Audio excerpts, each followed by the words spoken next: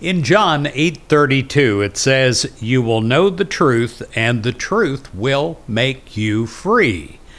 Well, to be free is to realize that you have unlimited power because you're connected with God and you claim and accept your unlimited power.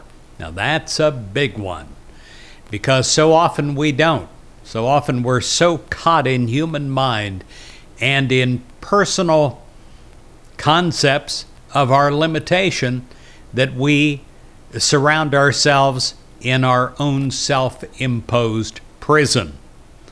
Well, you are a spiritual being, and you're created to be free with the freedom of spirit, free from your limitations, your own self imposed jails.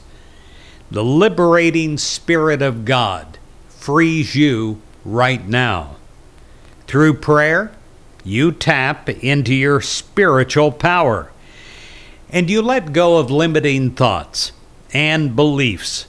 You release any resentment or unforgiveness you may be feeling.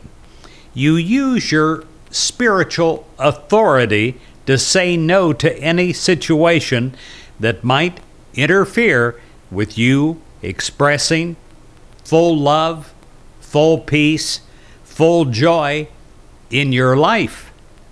You're free to think new thoughts, higher thoughts, and to go where those thoughts lead you, to go where God leads you. Sometimes that's quite different than human mind can perceive of. We are free to do whatever we're guided to do and to express the goodness that springs forth from our spiritual nature. We are free to be radiant and loving children that we are of God. And because we accept this newfound freedom right now, we're free from all that would bind us in the past or even today if we choose to be bound. We're free to be all that we can be as a child of God.